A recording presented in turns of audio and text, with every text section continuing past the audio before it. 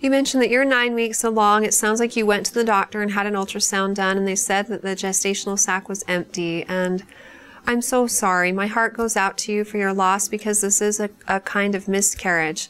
Um, it's also known as a blighted ovum, and this is where an egg is fertilized. It attaches to the uterine wall, but cells don't develop inside, and it's usually due to chromosomal abnormalities.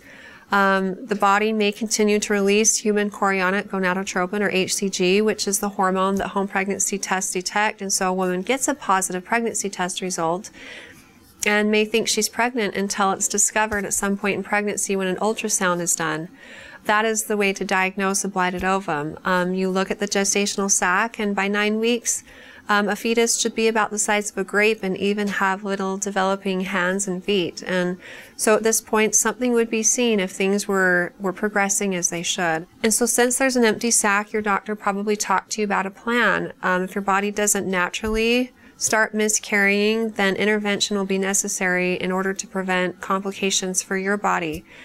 Um, again, I'm so sorry, and I do suggest talking with your doctor again about your questions and concerns. Maybe they could sit down with you and look at the ultrasound images, explain things a little bit better, and help you through the grieving process.